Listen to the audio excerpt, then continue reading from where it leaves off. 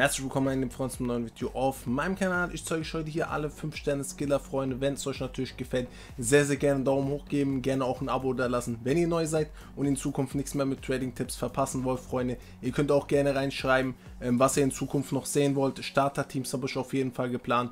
Trading-Tipps werden sowieso kommen. Ähm, ihr könnt natürlich reinschreiben, was ihr sonst noch sehen wollt. Ähm, ich kann auch zum Beispiel mal ein FAQ machen, wenn ihr auf sowas Bock habt. Könnt ihr gerne in die Kommentare schreiben, Freunde. Und dann würde ich sagen, starten wir mit dem Video. Wünsche ich euch viel Spaß. Ab geht's. So Freunde, noch kurze Werbung für meinen Partner Eneba. Ihr seht wieder PSN-Karten sehr, sehr günstig aktuell im Angebot. Ähm, ihr zahlt für eine 100er PSN ungefähr nur 86 Euro. Ähm, gebt meinen Code Alex96 ein, bekommt ihr noch 3%. Ähm, wie gesagt, hier gebt ihr einfach meinen Rabattcode Alex96 ein. Ähm, gehen wir mal schnell ein.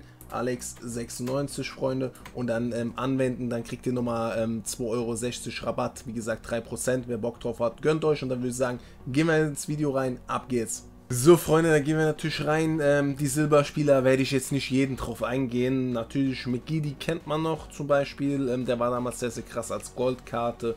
Oder auch Maxim kennt man noch, weil der sehr, sehr lange in der Bundesliga war. Aber der Rest von den Silberspielern werde ich jetzt nicht drauf eingehen. Fangen wir nämlich bei den Goldspielern an, Freunde. Haben wir hier den Moreno. Ähm, als Zehner denke ich für Anfang sehr interessant. 89 Pace, Schuss okay, passen in Ordnung, ein Triple-Wert ist sehr gut. Also für einen Zehner am Anfang wird nicht viel kosten. 5 Sterne Skills, wer das feiert, kann das auf jeden Fall machen. Hier haben wir noch Bolasi, mittlerweile auch nicht mehr der schnellste, aber vielleicht für ein Starter-Team auf jeden Fall nicht uninteressant. Hernani mit 91 Pace, auf jeden Fall sehr, sehr guter Flügelspieler. Ähm, sieht auf jeden Fall nice aus. Genauso wie er hier. Er hier wird nicht viel kosten, weil er halt in der Liga spielt, die uninteressant ist, argentinische Liga.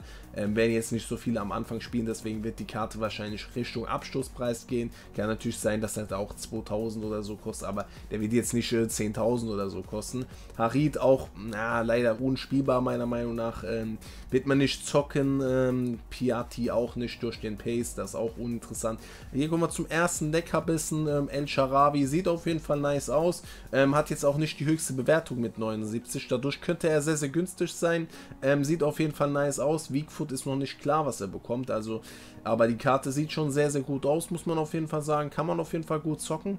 Ja, Freunde, und den hier, den Gelsen Martins, den werden wir sehr, sehr oft als Gegenspieler haben, weil viele werden natürlich Spenietta am Anfang spielen und werden den natürlich mit diesem Martins hier linken. 94 Pace ist ja klar, dass man den nutzt, äh, um einen Benietta mit einem grünen Link zu geben. Das ist klar, dass die Leute den spielen. Ähm, und auf der anderen Seite könnten die Leute hier mit Maximor kommen, der auch sehr, sehr gut aussieht. Sieht sogar nochmal ein bisschen besser aus wie der Martins mit einem Triple-Wert. Ähm, sieht gut aus, ähm, hat halt gar kein Defending, aber das ist völlig egal. Ähm, gehen wir weiter hier zum Bernardeschi, der sehr, sehr gut aussieht für einen Zehner. Ähm, hat zwar ein Downgrade um 3 bekommen, aber sieht okay aus, gut spielbar. Auf die 10 geht er auf jeden Fall klar. Für den Anfang geht er auf jeden Fall ab. Ähm, Neres sieht auch relativ solide aus. Für den Anfang könnte der auch relativ gut sein. Ähm, 86 Pace, relativ restlichen Werte sind ausgeglichen. Nani auch, ja, sein Zenit ist auch vorüber. Sehen wir hier bei der Karte auch wieder. Ähm, Vinicius, sehr, sehr geile Karte. Sieht sehr, sehr geil aus. 95 Pace. Ähm, sehr, sehr gute Werte. La Liga könnte dieses Jahr sehr, sehr interessant sein. Vielleicht baue ich mir am Anfang auch ein La Liga-Team. Ich weiß ja noch nicht, was ich bauen werde. Wollte ja ein Full Bayern-Team bauen. Hat EA mir versaut, dass, dass ich das bauen kann.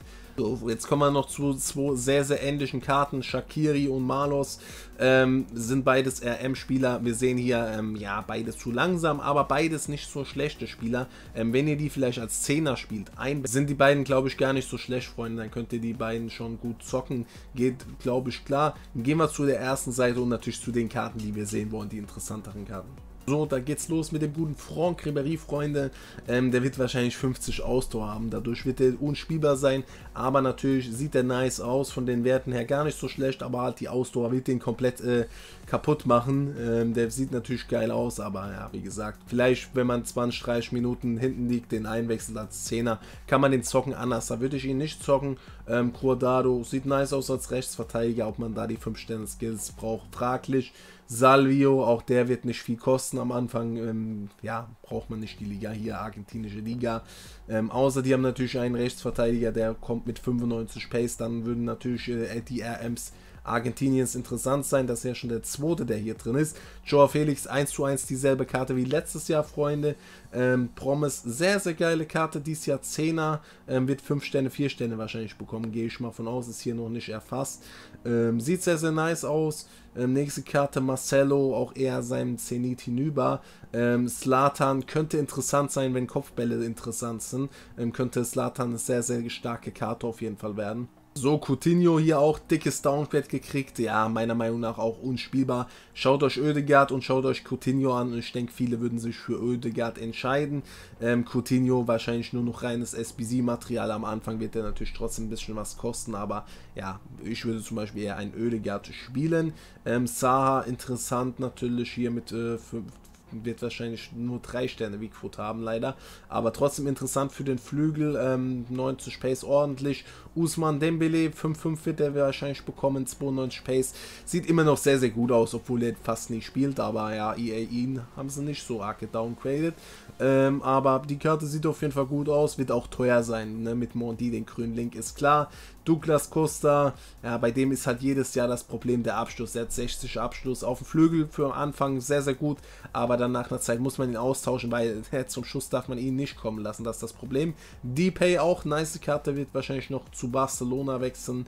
Ähm, sieht sehr, sehr gut aus. Genauso wie Rashford. Rashford feiere ich immer am Anfang sehr, da das Player-Model wie Ronaldo hat. Zudem hat er dieses Jahr die 4 Sterne Weakfoot bekommen. Sehr, sehr geile Karte. Also Rashford kann man am Anfang überlegen zu zocken, ist natürlich teuer. Ähm, Maches, auch er sieht ordentlich aus, würde ich allerdings auf die 10 stellen, weil 83 Pace für außen wäre mir zu langsam. Thiago leider unspielbar, Freunde, ja, 50 Antritt hat er nur bekommen.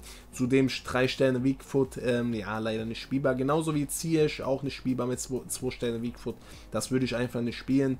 Ähm, Werte sind ordentlich, aber ja, dadurch wird der Preis auch nicht so hoch sein. Nächste ist der gute Paul Pogba. Ja, der hat auch einen Downgrade bekommen, aber immer noch ein Panzer mit 5-4.